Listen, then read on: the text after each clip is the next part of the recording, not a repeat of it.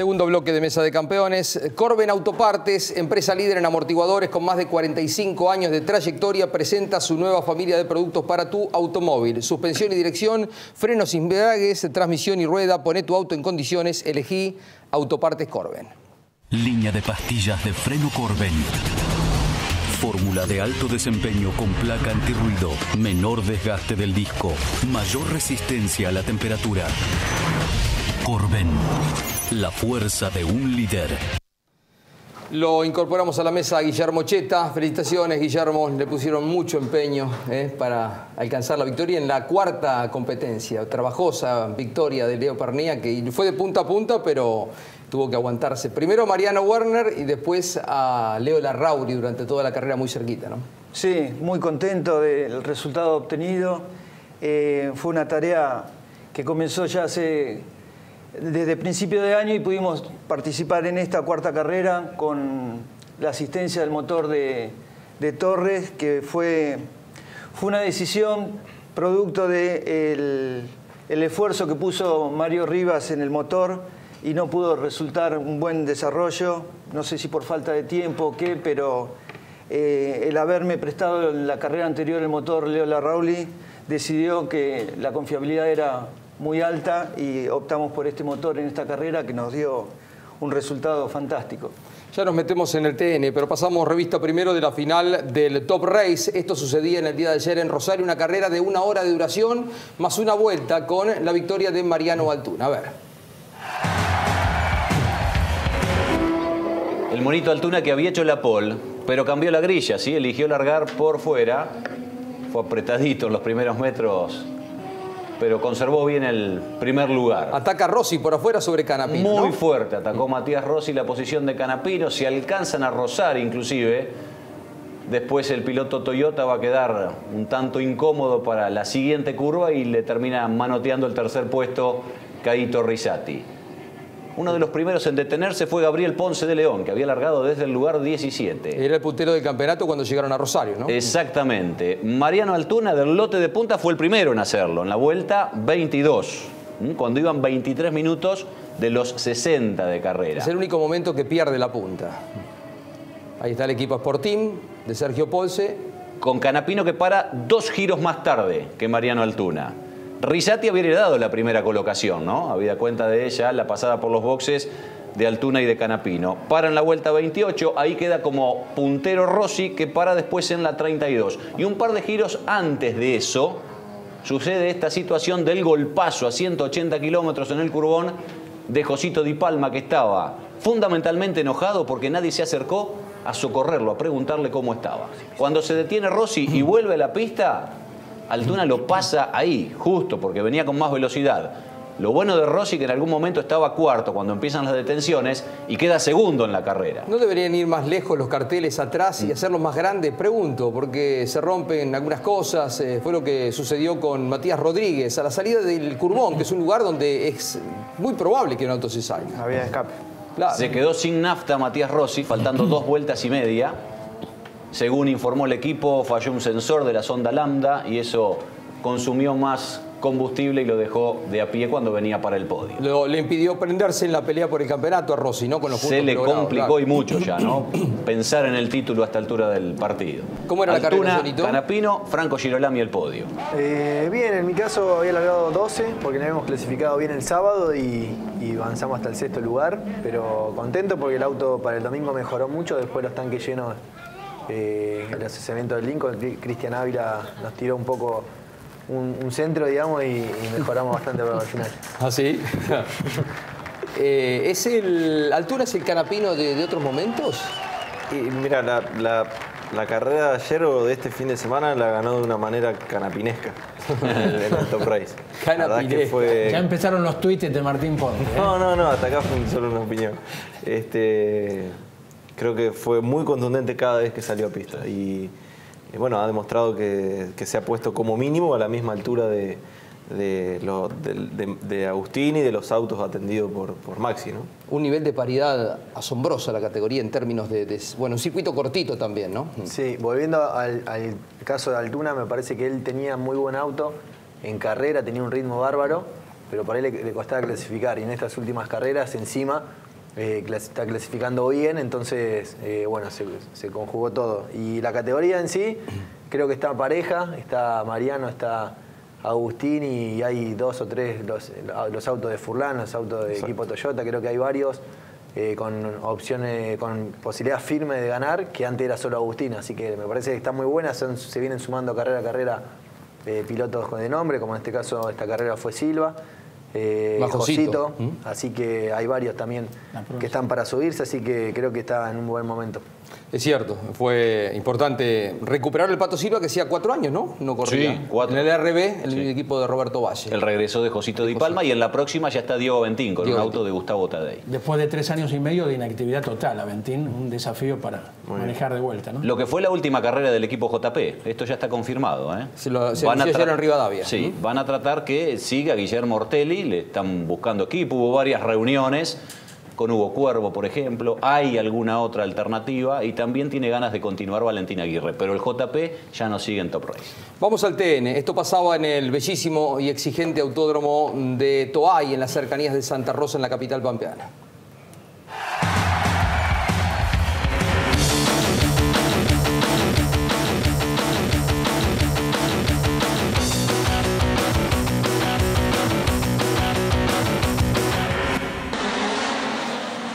Impecable largada de Leo Pernía, cómo manejó Mariano Werner, cómo manejó Julián Santero. La verdad, ayer eh, Leo ni hablar, por supuesto, que por momentos pareció que se llegaba hasta ahí nomás. Andy, golpe de escena inicial con el campeón Moriatis involucrado. Tal cual, y el jamón del sándwich que era, ¿quién que está sentado a la mesa? Me tocó a mí ir al medio. Eh, largué mal, me empieza a pasar Moriarty por adentro y Ventricelli por afuera y en un momento se empiezan a juntar los dos autos que venían a la par mía y nada, se engancharon las ruedas y se, se despista Ventricelli y también lo engancha Moriarty. Ese es el golpe de Jerónimo Tetti a Cristian Ledesma. Salió tercero Tetti en la pista, pero fue excluido más tarde por la maniobra. Fue impactante verlo a Ledesma de contramano por arriba del pasto cuando oh. levantamos la vista, rogando que no se trabara. Todo eso en un segundo. Por suerte no ocurrió la amargura de Cristian de tener que abandonar luego. Impresionante la maniobra ahí en la bajada del tobogán, en ascenso, eh, entre Pernía y Werner. ¿Cómo lo vivías, Guillermo? Con intensidad, ¿no? De afuera. Atacaba muy fuerte Mariano Werner, que lejos de pensar en el campeonato, iba por la carrera, ¿no? Ahí aprovecha, se corre el auto de Werner, lo pasa a la Rauri y ahí está también perdiendo la posición con Julián, ¿no?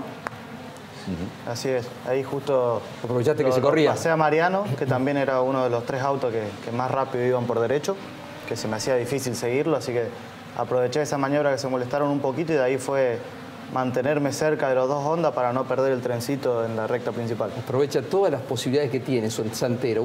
Viene es tan justo en, las maniobras. Cuando ya empezaba a deslizarse el auto de Warner, y está Santero atrás, listo. Eh, bueno, gran carrera. Ahí estaba el auto Honda en la cuarta competencia. ¿Cómo lo vivías, Guillermo? Con mucha atención, eh, estaban todos muy bien preparados para esta carrera. Eh, eh, Mariano estuvo trabajando mucho todo el fin de semana y la verdad tenía temor del toque que pudiera despistar alguno de, los autos, pero lo viví con una, una emoción muy grande este resultado. ¿Qué decía el Tanito por la radio? Que te vi que tenías la radio puesta. ¿Hablaba con ustedes? Nos asustamos en la largada cuando se le puso la primera y se le paró el auto. Mm. Eh, se sorprendió y la verdad dije, no puede ser. Veníamos con un fin de semana tan redondito que, que era una alegría poder seguir disfrutando esta final. Julián se quedó con el récord de vuelta en la carrera, en los primeros tramos.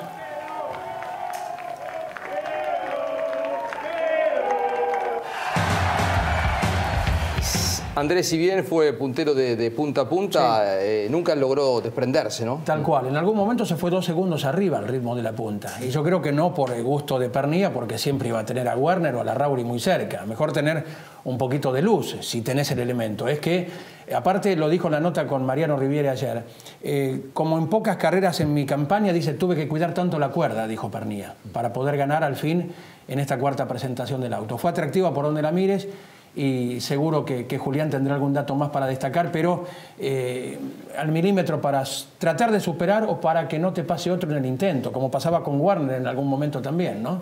Sí, la realidad es que se dio un ritmo de carrera muy raro. Eh, venían muy despacio en la zona de los mixtos, los dos Honda, Leo con, con va, los dos Leo, la Rauri y Pernía. Y bueno, yo en mi caso en los mixtos era bastante más rápido que ellos, después salíamos a la recta y había una gran diferencia, que después la tenía que acortar de vuelta en los mixtos y así se dio durante 10 vueltas casi, que también tenía que defenderme de Domenech y de Werner que venían atrás mío. Pero bueno, se dio una linda carrera, entretenida. Me llamó un poco la atención eh, quizás la poca agresividad de la Rauri para buscar la punta, ¿no? No, no vimos en, en las 23 vueltas, ¿cuántas vueltas fueron? 25. 25 Es vueltas. como que venía cerca, pero no atacaba, ¿no? Me llamó la atención. Yo lo hubiese intentado y creo que cualquiera de los otros también. ¿Hay un equipo implícito, Guillermo?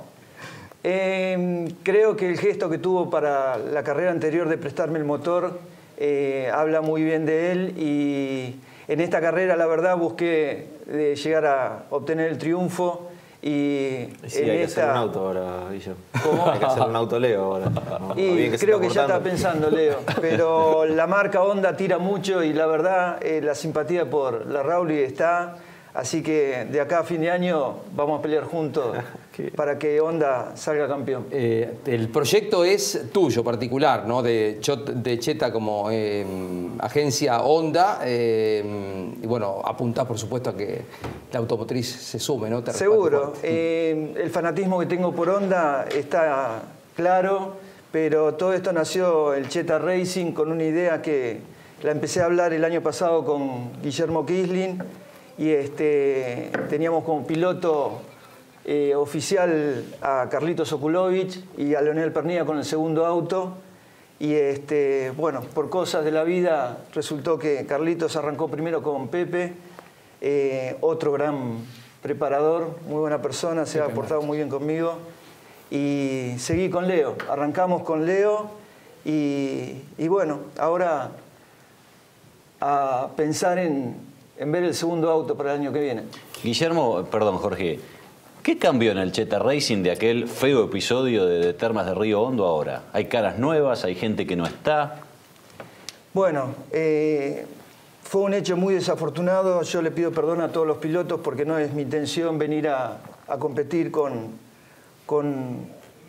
no digo trampa, sino con un- una situación que, que es fea para resultar eh, con una sanción. Pero sí, eh, esperamos la sanción de la CDA. Los Kisling, por ejemplo, no están más. Eh, todos nos sentimos muy mal. Hasta yo mismo quise dejar el, el equipo porque me pareció grave lo sucedido. Fue una desinteligencia del equipo eh, por parte del equipo de, de Fido y por parte de la ingeniería nuestra. Eh, hubo una desinteligencia, sencillamente.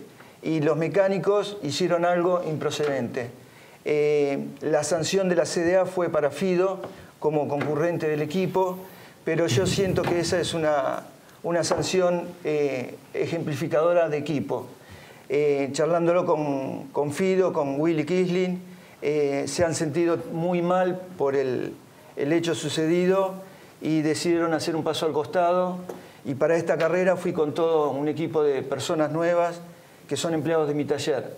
Que, bueno, ante este hecho decidí poner eh, todo un equipo nuevo porque la decisión también hubiese sido dejar el, el equipo formado de Cheta Racing.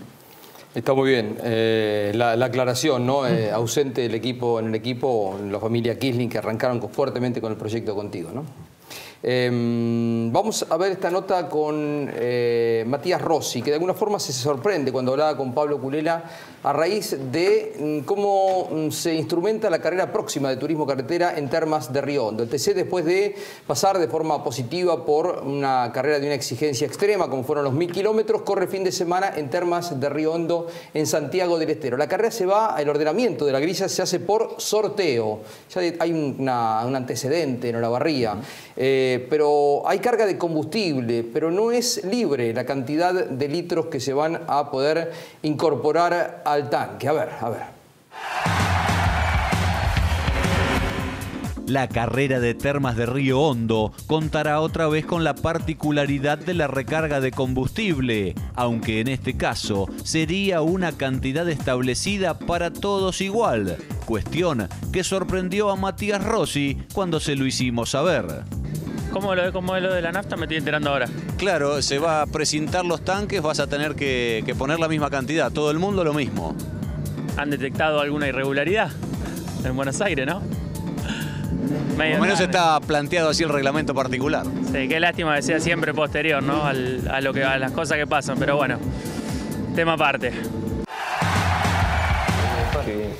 No, no es libre, eh, le quedó picando, ¿no? Eh, el tema de los Son 30, litros, mínimo, mínimo. pero no creo que echen mucho más que eso, ¿no? Más o menos por el consumo. No, yo calculo que se va a echar lo, lo mínimo posible para llegar al final de la carrera. Eh, la realidad es que todavía no leí bien el reglamento, no sé a partir de qué vuelta se va a poder entrar. Esto tiene que ver, y yo lo interpreto lo que dice Matías, con muchos comentarios que uno escucha por los boxes permanentemente, porque a una alta cantidad de gente le sigue generando dudas aquello del Pato Silva, que paró solo tres veces en Buenos Aires. Este, por eso Rossi yo creo que, reacciona así y dice lo que dice, que es lo que piensa mucha gente. Eh, es difícil, ¿no? El tema porque tendrán su, su estrategia, eh, pero cuando no tenés pruebas, eh, claro, queda el tema dando vuelta, ¿no? Le, le- sin una cierta duda, ¿no? Pero bueno, se desprende de la nota de hablaba con, con Matías. Claro, y que en este reglamento se estipule un mínimo de combustible. Antes a vos no te decían cuántos litros tenías que poner. Ahora te dicen 30 litros mínimo. Fastix alta temperatura para sellar y formar juntas resistentes a altas temperaturas. Para más información ingrese en fastixaltatemp.com.ar. Bien, Andrés, eh, algunos datos para resaltar del fin de semana. Eh, Moriatis recuperó bien terreno, aunque luego levantó para eh, descargar algún kilo, ¿no? 20 kilos, sí. Pese a que llegó con la parte delantera derecha del auto bastante maltrecha, no se dañó la alineación, recuperó mucho. Moriatis peleó con Castellano en algún momento. Eh, van primero y segundo Moriatis y Castellano, pero se apretó ahora el campeonato y en solo 17 puntos también están inmersos en la pelea Warner y la Rauri. ¿eh? 17 puntos del primero al cuarto, faltan cuatro carreras, una con invitados. Se me ocurre que recibirán invitación. Ah, no, pero hay Top Rey ese mismo domingo. Claro, hay Top Rey ese mismo domingo. No corre solamente el TN cuando sea Buenos Aires eh, la, la fecha. Entonces, tal vez alguna posibilidad para los muchachos pueda quedar para mejor ocasión. Se supo también que van a correr en el circuito 9 la carrera en Buenos Aires. Ajá, me estoy enterando ahora, no sabía. Eh, es un lindo circuito, va a ser una carrera entretenida. Hay que esperar obviamente el reglamento particular de la prueba para ver eh, de qué forma o qué forma se le da al, al evento. Pero creo que va a ser entretenido. Yo en mi caso eh, tengo a mi piloto invitado ahí porque era Josito Di Palma, que ahora se volvió a sumar al Top Race.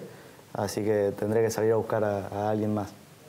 Eh, ¿Cómo le fue con Torres? Bien, en términos de resultado. En la parte final dijo Leo, mm, ¿se cayó un poquito el rendimiento? eh, ¿Aflojó un poquito el motor o era otra cosa? Eh, no, venía dándole con todo, así que sintió un poquito de merma al final, lo comentó él, pero el rendimiento fue 10 puntos del motor. Algo más del Top Race, eh, a ver qué pasa con el JP, con el equipo que llegó a la categoría y que a poco de andar anunció que se va. No sería descabellado pensar de que el JP, ante tener tantos autos en distintas categorías, se aleje del Top Race y vos eh, emigres al equipo de Cuervo? No, no sé dónde puedo emigrar yo, pero conociéndolo a Gustavo de la forma de que me lo dijo, puede ser una chance. ¿Crees que entonces no tendría continuidad eh, eh, el JP? No, no lo sé. Yo, eh, por lo poco que, a ver, por lo poco que me dijo y lo mucho que lo conozco, este, si bien no me lo dijo, solo me lo imagino, nada más. ¿Se va el JP? ¿Esta es la última carrera? Sí, eh, desgraciadamente para, para la categoría que hizo una apuesta importante con ese equipo por pedido de uno de los sponsors más importantes que tiene la categoría, que es ESCO, por pedido específico de Sergio Lifchi, hicimos un acuerdo con el JP. Evidentemente no es tan fácil este, para una estructura hacer tres categorías. El JP trabaja en el turismo carretera, el JP trabaja en el TC Mouras. Eh, y bueno, ellos tenían que tomar la opción de hacer una categoría promocional como es el, TC Mouras o hacer una categoría profesional como es el Top Race. Y bueno, A mí me parece que, que Ortelli no merece eso aquí en el Top Race, en su vuelta al Top Race, y estamos trabajando, nos pusimos de acuerdo en esta semana para ver, eh, para ver cómo va a ser el futuro. Establecemos la última pausa con la competencia de la clase 2 con la victoria de Alejandro Bucci en el día de ayer en La Pampa. De punta a punta fue el triunfo de Alejandro Bucci en el Autódromo de Toay en la octava fecha de la clase 2 del TN.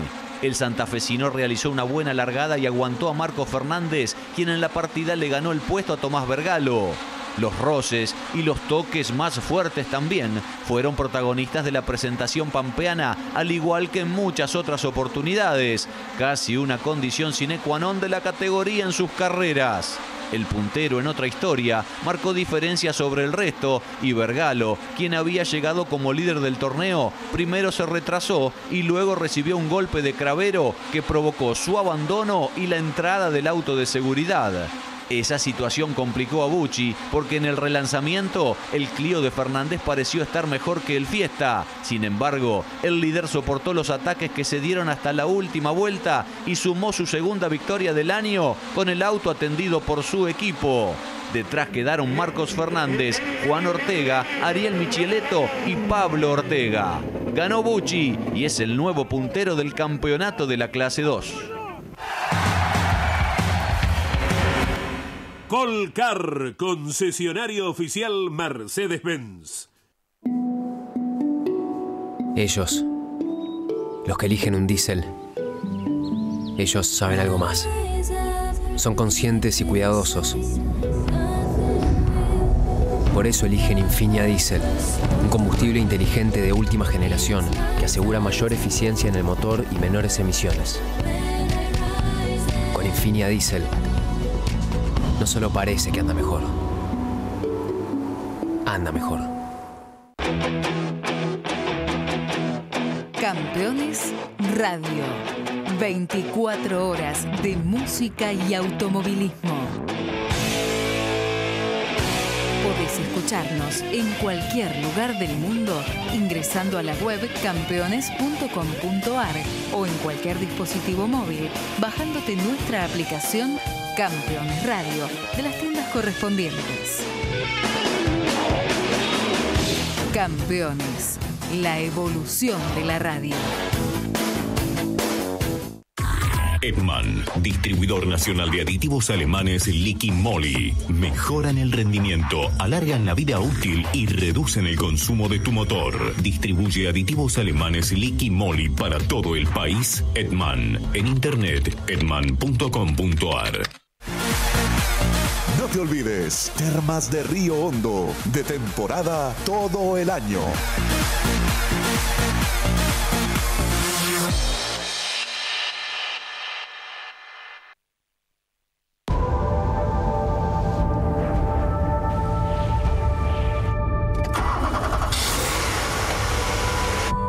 Los motores sometidos a bajas temperaturas pueden dañarse. Por eso el Ion cuenta con una exclusiva tecnología antiestrés, específica para cada diseño de motor, otorgando la mejor protección siempre.